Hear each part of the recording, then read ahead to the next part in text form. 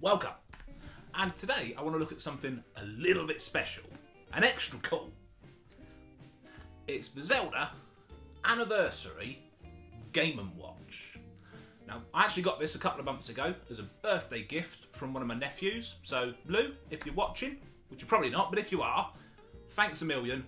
It's an awesome gift. I really appreciate it. And I have played it a lot. As you can see, I've kept it in its original box. So, let's get to the table, have a look inside, and I'll show you a little bit of games as well. And here we are.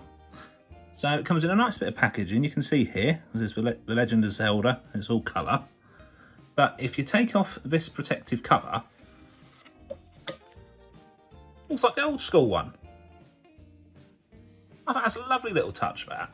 And if you turn it over, you'll see on the back what's included inside. So you've got Legend of Zelda, Zelda 2 The Adventure of Link, Legend of Zelda Link's Awakening, Vermin the Link version, of course.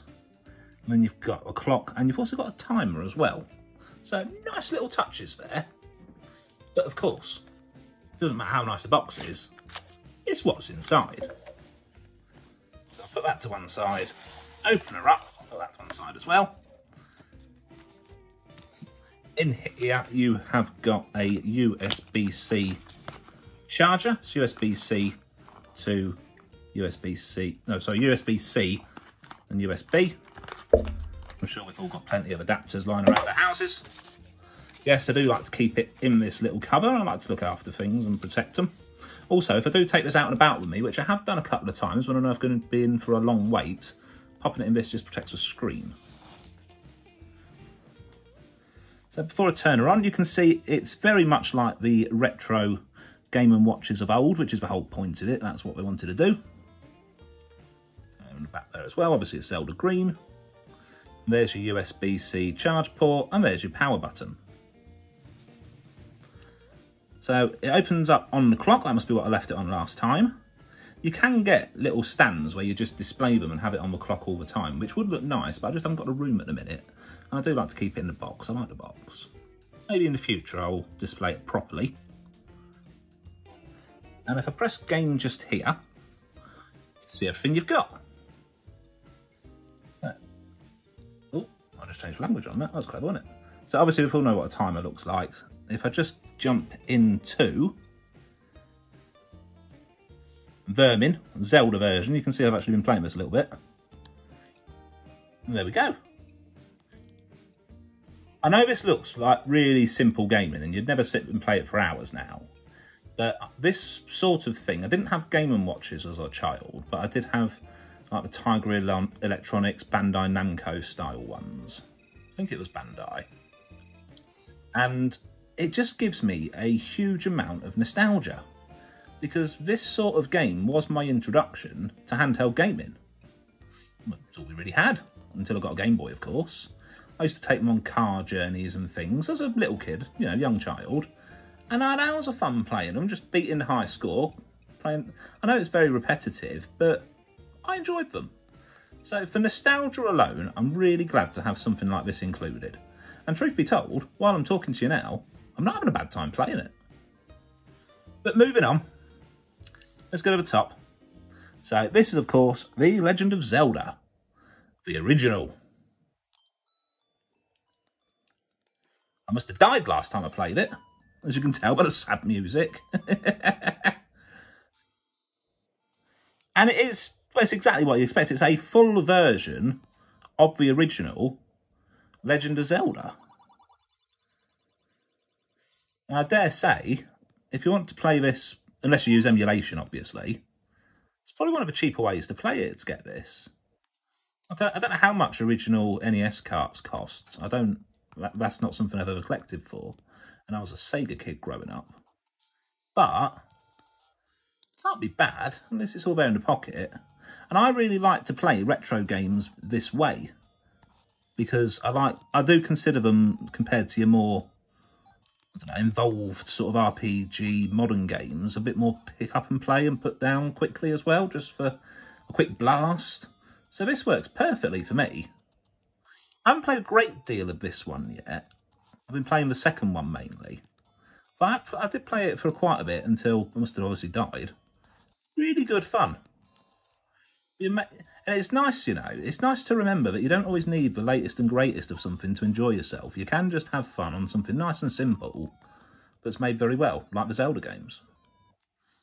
Moving on to the one I have been playing a bit more of, the second one, Zelda 2, The Adventures of Link. There we go. So I must have come off the map and gone into a forest. Let's just get out of it. So here we are on the main map. As you can see just from that, the graphics did jump, or at least I would say they jumped forward quite well compared to the original. I think the side view, a bit more detailed. I forget, we're still dealing 8-bit here. I think it works well. Jump and punch, there we go. Nice and colourful, like all Nintendos should be. Here we are in a village. I don't know if we're going to meet any characters or anything. Can I go in here? Yeah, of course I can. Hello. Oh. I am error. Good for you, mate.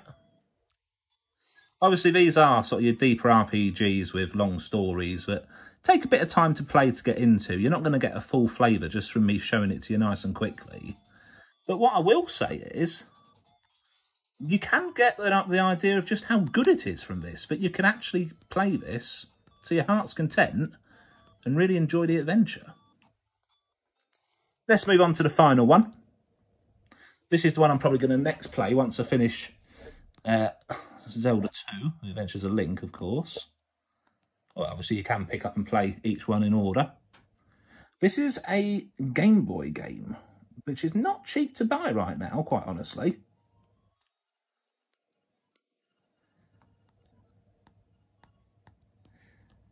Really nice little game. So this is the very start of it, literally where you just get out of bed. Obviously, I've just typed my name in as A, but you can put your own name in, which is a nice little touch. Sorry, I just went off screen then. It's because I'm looking behind the camera. It's easier for me to see it. Talk to you little people. Got my shield back. There you go, that's nice. Got a shield. Hoorah, hoorah. It's quite a dialogue intensive game. Obviously, it's all text to, yeah, text to speech. Let me pronounce things properly.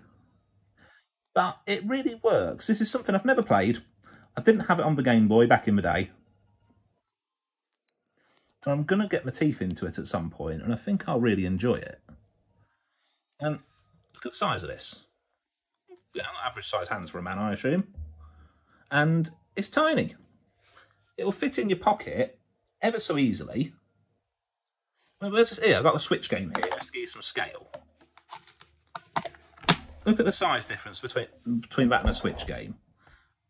Very pocket friendly. Ideal for if you're going somewhere and just want a bit of pick up and play action.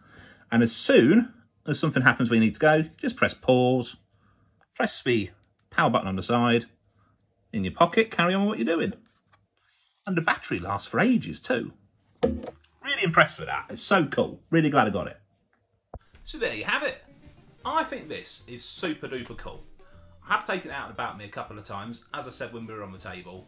I really enjoy playing it. It's great for pick up and put down gaming, even if you just want to play for 5, 10, 20 minutes in front of the telly. And it's really good fun. These old Zelda games are fantastic, great fun RPGs. And I know they're not forgotten because a lot of people play them through emulation, but playing them this way, I really enjoy. A really cool gift. Christmas is coming, or if you've got a gamer in your life who likes the retro stuff, I hope they'll be as happy with this as I am. Maybe consider it as an idea. And it's quite a cheap way to get these games on official Nintendo hardware if you don't want to get them on the old NES. I can't knock it, the battery even lasts a long time, but let me know your thoughts in the comments. Do you like this? Is it something you are interested in or would consider getting? Or do you think it's just a bit of a gimmick? Love to hear from you all as always, no wrong answers, and I'll see you pretty soon. Oh, and don't forget, if you look around here, I've also got the Mario Anniversary Game & Watch, and there's a review, just for you. Ta-da!